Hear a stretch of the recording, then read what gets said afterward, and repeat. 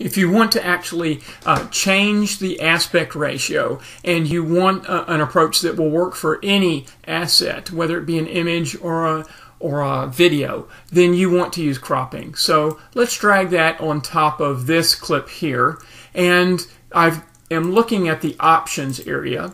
And underneath there, I've, you can see that cropping has been applied. And notice that it uh, has a number of default things that you could use. But if you want to customize it, we just go underneath here and click on the customize, and it uses the standard filter tools. But um, the bad thing is changing the aspect ratio. I can't just grab the inch and start moving it. I don't know why they haven't implemented that. Um, but you have to go into these little slider boxes and change the width or change the height. It's really clunky interface. But I can drag this around here wherever I want.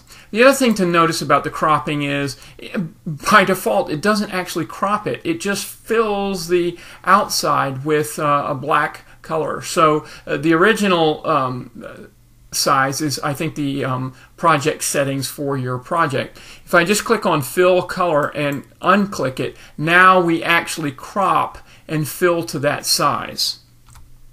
So for things that uh, wind up in the actual uh, view source, or rather the main timeline, um, you can see if I have that border, it will um, show up there.